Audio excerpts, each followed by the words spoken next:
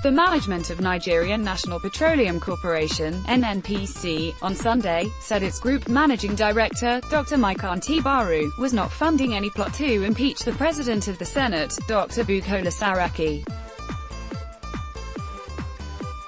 Mr. Ndu Ughamadu, NNPC Group General Manager, Group Public Affairs Division, said in a statement in Abuja that the corporation was not a party to the ongoing political struggle in the National Assembly.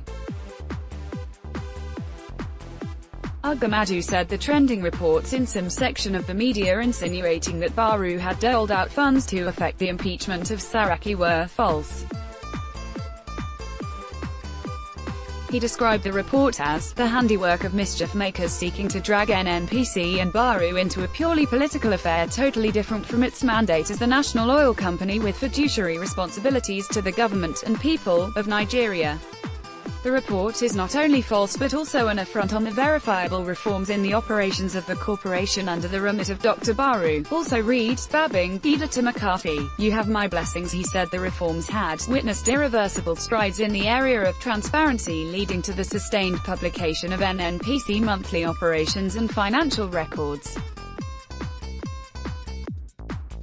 The allegations are mere fiction and outright tales by moonlight for anybody to insinuate that Dr. Baru or anybody else could just take a dip into the corporation's till and dole out the volume of funds being portrayed in that phantom report for political purpose. Ughamadu called on all well-meaning members of the public and oil and gas industry stakeholders to discountenance the story.